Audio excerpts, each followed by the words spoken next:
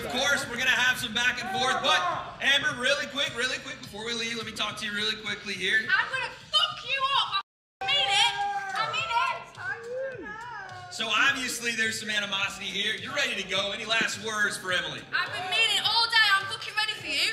I'm fucking ready. I'm so fucking hungry to smash your fucking chin. You're on the floor, mate. There it is.